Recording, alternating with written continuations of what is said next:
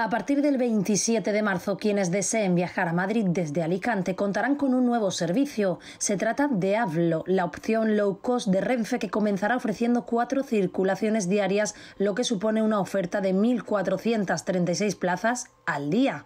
Todos los servicios tendrán parada también en Albacete y dos de los Avlo, uno por sentido, pararán también en Cuenca y en Villena. Además de este nuevo servicio, también se incrementará la oferta de AVE entre Alicante y Madrid con un tren diario que circulará de manera directa entre semana y otro que circulará los sábados y tendrá parada en Cuenca, Albacete y Villena, sumando así 2.500 plazas semanales. Bueno, me parece, me parece muy bien, me parece perfecto. Tienen buenas conexiones, eh, aquí en Alicante sobre todo, y me parece muy bien.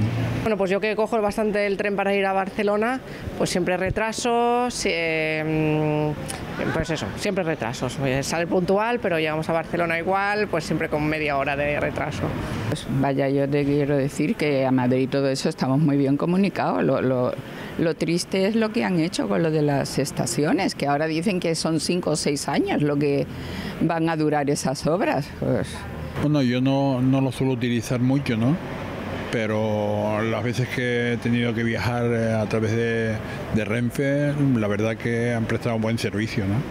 Me ha venido fatal que hayan cambiado los trenes a Madrid, a la estación de Chamartín, porque yo hago mucho el trayecto Alicante-Madrid-Málaga y claro, tengo que ir a Chamartín y de Chamartín desplazarme hasta Atocha para coger el, el AVE de Málaga, o sea que muy mal.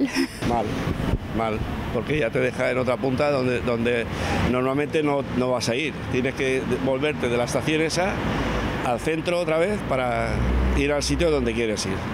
Con la incorporación de AFLO y el incremento de trenes AVE, la oferta diaria entre Madrid y Alicante será de 28 trenes, 14 por sentido.